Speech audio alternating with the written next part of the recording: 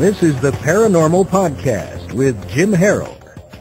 Welcome to another edition of the Paranormal Podcast. You know, it's really uh, fun getting back in the saddle. Uh, I've been recording shows, posting them, uh, getting active on MySpace, and getting some good feedback on the new shows. And I just want to thank each and every one of you for sticking with us.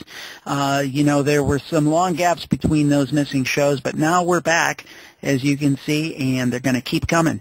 And we've got a good one tonight, I think. Uh, my guest tonight is Lawrence R. Spencer. He is the author of a book called Alien Interview, and uh, it's really a fascinating study about the uh, Roswell crash and uh, the aftermath, and uh, Mr. Spencer has written several books. He's written Alien Interview. He's written a book called uh, The Big Bleep. Uh, he's written Pan God of the Woods and also The Oz Factor. So it's a pleasure to have you, Lawrence Spencer. Thank you very much for taking time tonight. Thanks, Jim. It's my pleasure. So, you know, a kind of subculture and a kind of industry has grown up around the Roswell crash. Um, you know, I think probably everybody uh, listening knows about that crash in 1947. Um, you were mailed an interesting set of documents that kind of, I think, uh, created this book or spawned this book.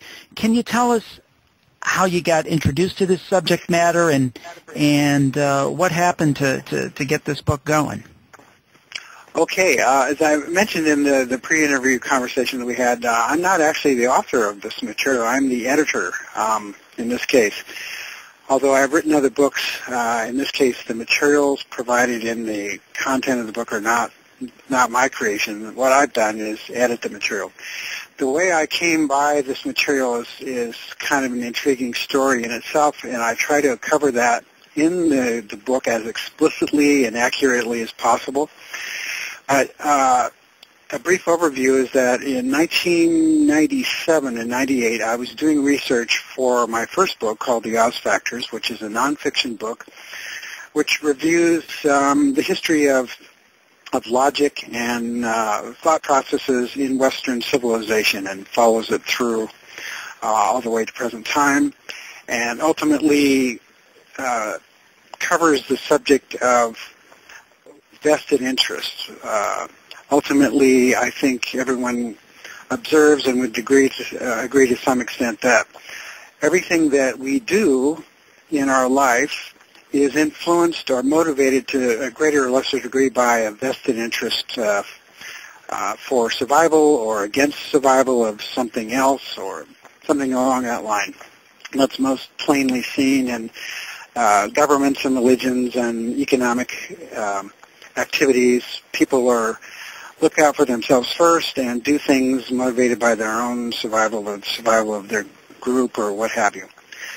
So that was the nature, that's uh, essentially the nature of the, the Oz Factors book. Um, and along that line, I, I got into the subject of ancient uh, history and ancient archaeology and so forth. And as you know, there's lots of controversy and speculation about uh, all kinds of things uh, of that nature, you know, the, the pyramids, uh, the Mayan culture, on and on and on, uh, subject to lots of conflicting opinions and um, alleged research and a number of vested interests tied up in that. Uh, the, the counterculture or alternative worldview researchers as opposed to the established academic uh, vested interests that are funded by governments or other institutions that have to justify funding or paychecks.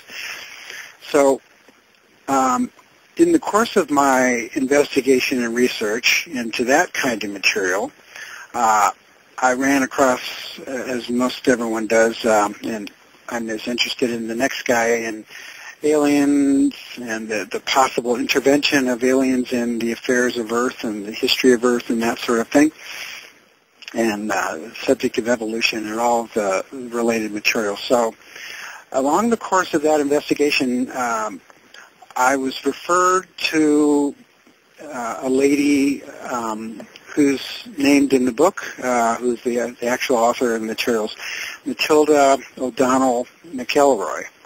Uh, and somehow, and I don't even remember how, back in 97 or 98, I called a phone number that I was given, and somebody told me that this lady uh, had something to do with the Roswell crash or Area 51 or something like that. They weren't sure. So just on a lark, I called and she answered the phone.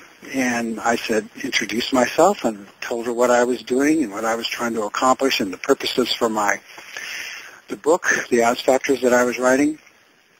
And uh, she basically said, well, I don't have anything to tell you, and but yes, I do know something about that, but I can't tell you what it is. Um, so I talked to her basically about um, my project and what I was doing and so forth, and subsequently mailed her a copy of my book when it was published.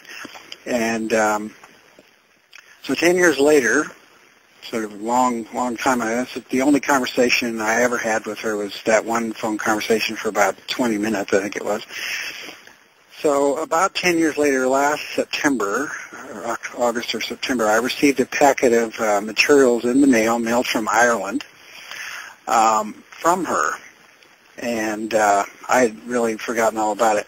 Anyway, the, the materials contained in the envelope I received were transcripts, according to the letter I received, um, transcripts of interviews done, conducted by her uh, when she was a nurse in the United States Army Air Force in 1947. She was stationed at the 509th Bomber Squadron in New Mexico, which is, you know, the site of the Roswell crash and so forth. And she uh, alleges that these are copies of the transcripts of the interviews that she conducted uh, at that time uh, for the military, and um, she added uh, a personal let- a letter of introduction that she typed, and uh, also notes, descriptive notes to clarify certain portions of the of the transcripts and so forth. So what I did was I looked all that over. Um, and I think anybody who reads the material will agree that it's it's pretty astonishing to say the least, and uh, to any average citizen, I would think pretty far fetched. Um, but you know, that's all subject to personal uh, opinion and speculation and what have you. So I sat on the material for quite a few months, ruminating about you know whether this is what I should do with it, if anything. Um, and uh, and if I were to do anything with it, what form it should take, and so forth. So I also during that time tried to verify that this person actually existed, or get in, and get in contact with her, and so on and so forth, as I explain in the book. Basically, every every lead or every trail that I had to contact her resulted in a dead end. Uh, the name that she supplied to me is a false name uh, for reasons that become obvious to anyone who understands the sensitive nature of top secret government documents, um, particularly in this case as regards alien uh, activity and so forth.